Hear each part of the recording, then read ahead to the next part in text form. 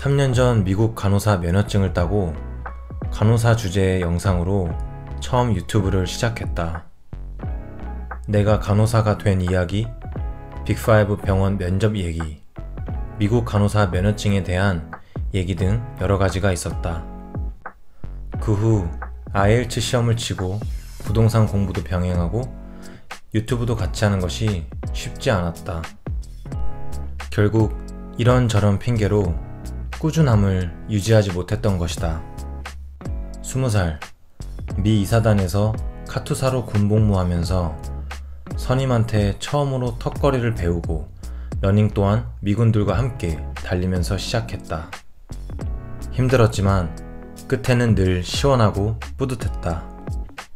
20대와는 다르게 체력이 처지고 운동량이 줄어들었지만 맨몸 운동으로 꾸준하게 달리고 그리고 땡긴다. 다른 건 몰라도 운동만큼은 꾸준함을 절대 잃지 말아야 할 이유가 있기 때문이다. 적어도 나에게 운동은 자신감과 동일하다. 운동은 내 자신에게 고통을 준다. 아무도 하라고 말하지 않는다. 나 스스로 할 뿐이다. 그러기에 포기하기는 너무 쉽다. 내가 안 하면 그만이니까. 컨디션이 피곤하고 지칠 때, 내가 게으를 때, 늘 내 자신과 싸운다. 하지만 운동을 해내면 나의 자존감과 자신감은 올라간다. 그 고통을 이겨냈으니까.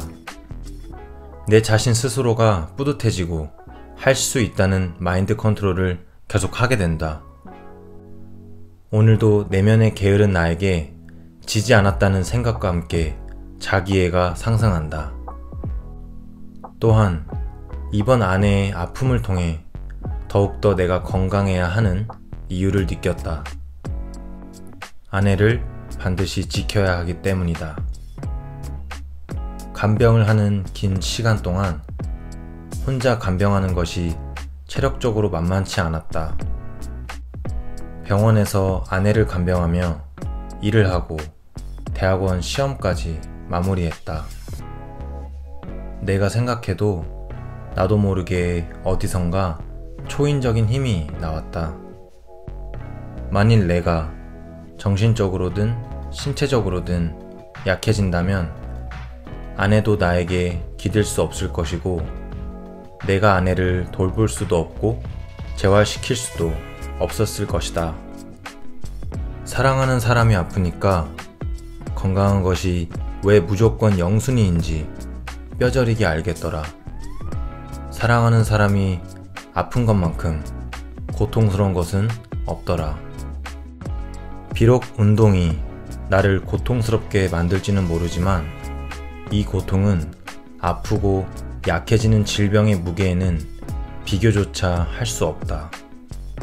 그러기에 나는 오늘도 건강함에 늘 감사하며 최악으로 고통스럽고 아픈 질병을 막고 사랑하는 사람을 지키기 위해 감당 가능하고 긍정적인 에너지를 주는 이 운동이란 나와의 싸움을 늘 받아들일 것이다. 세상에 공짜는 없다. 젊은 나이부터 운동이라는 긍정적인 이 고통을 받아들이지 않는다면 언제 나도 모르게 피할 수 없는 아픈 고통을 겪게 될지 모른다. 익숙함에 속아 후회하지 않도록 우리 모두가 늘 자신을 갖고 나갔으면 좋겠다. 깐분이었습니다. 감사합니다.